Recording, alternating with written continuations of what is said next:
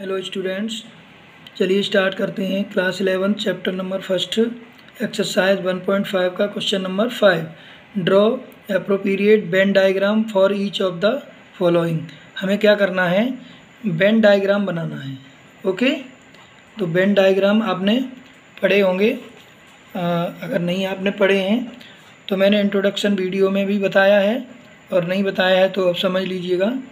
First part हमारा है A union B का कॉम्प्लीमेंट ओके तो बेन डायग्राम के लिए मैंने आपको बताया था कि रेक्टेंगल में जो हम बनाते हैं, वो रेक्टेंगल में क्या होता है बेटा? यूनिवर्सल सेट ये जो सेट है हमारा, कैसा है? यूनिवर्सल सेट है. ये यूनिवर्सल सेट हो गया ओके अब ए और बी सेट भी लेना है हमें.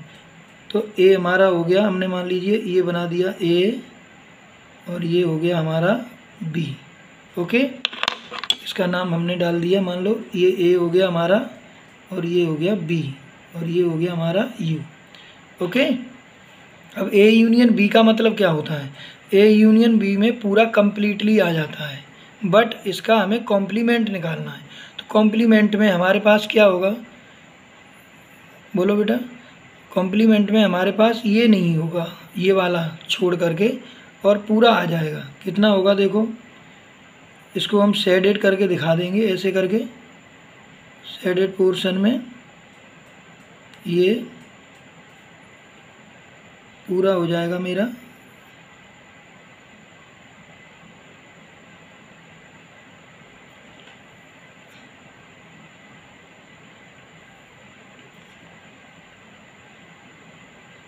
यूनियन का मतलब होता है पूरा कंप्लीट कलेक्शन यानी हिंदी में इसको संघ समुच्चय भी बोलते हैं हम।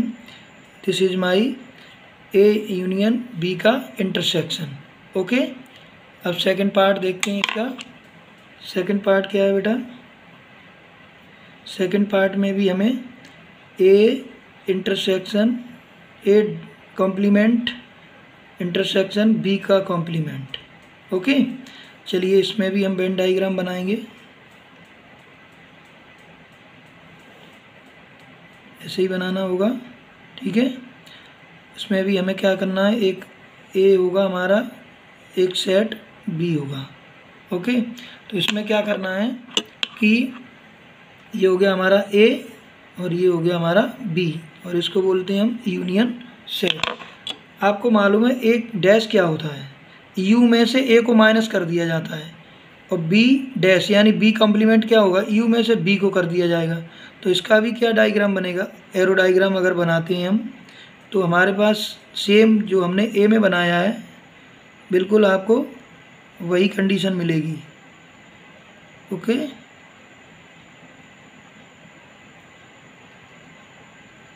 शेडेड कर देते हैं आप। आप पेंसिल द्वारा शेड कर सकते हैं कलर कर सकते हैं इसको। आप कलर से इसको शो कर सकते हैं। Okay student this is my right answer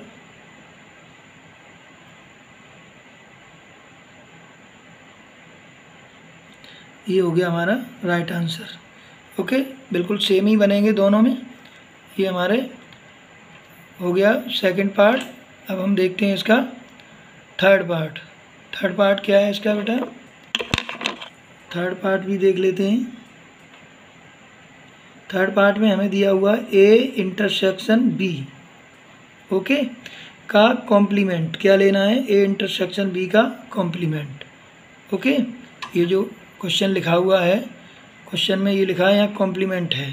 okay A intersection B का कॉम्प्लीमेंट कॉम्प्लीमेंट इसको भी देखिए कैसे बनाएँगे हम। ये ये ड्रॉ करना है हमें। चलिए, थोड़ा जल्दी देखते हैं। यूनिवर्सल सेट हो गया हमारा ये। ओके, हमें एक सेट ए लेना है और एक सेट बी लेना है। ओके, अब इसमें क्या करना होगा कि ए इंटरसेक्शन बी तो ए इंटरसेक्शन बी तो ये हो गया, लेकिन इसका कॉम्प्लीमेंट तो यही बचेगा बस, और पूरा शेडेड हो जाएगा। ये देखो इसको ए डाल दीजिए, ये बी हो गया हमारा। तो ये पूरा हो जाएगा, देखो। कॉम्प्लीमेंट का मतलब क्या होता है? बिल्कुल जस्ट अपोजिट होता है। ए इंटरसेक्शन बी जो होगा मेरा, वो नहीं आएगा।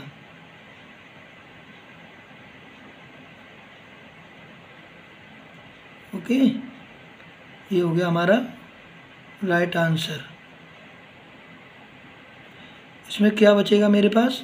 केवल ये वाला ए इंटरसेक्शन बी का कॉम्प्लीमेंट हो गया। अब देखते हैं हम फोर्थ पार्ट इसका। लास्ट पार्ट है। क्या है बेटा? A intersect A complement union B complement अब ए और बी का यूनियन का क्या करना है हमें? कॉम्प्लीमेंट लेना है। तो इसमें भी हम बैन डाइग्राम बना के आपको बता देते हैं। सेम ऐसे ही बनेगा। यू और ये हो गया हमारा ए और ये हो गया बी ठीक है? इसमें भी बिल्कुल सेम होगा, क्योंकि ए कॉम्प्लीमेंट का मतलब क्या हुआ यू में से हमने ए को माइनस कर दिया ओके जब यू को माइनस कर दिया, मेरे पास क्या बचेगा? इधर वाला ये बचेगा, और इसको हमें लेना नहीं है, क्योंकि ये कॉम्प्लीमेंट लिया हुआ है इन्होंने। तो हमें लेना क्या है? इंटरसेक्शन। कॉम्प्लीमेंट का क्या लेना है हमें? इंटरसेक्शन। ये हो गया हमारा। केवल हमारे पास क्या बचा हुआ है? इंटरसेक्शन वाला ये portion.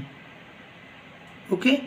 This is my right answer अब देखते हैं क्वेश्चन नंबर सिक्स देखिए स्टूडेंट क्वेश्चन नंबर सिक्स हमारा क्या है? Let U be the set of all triangles in a plane if A is the set of all triangles with at least one angle different from sixty degree okay what is A dash देखिए A complement पूछा है।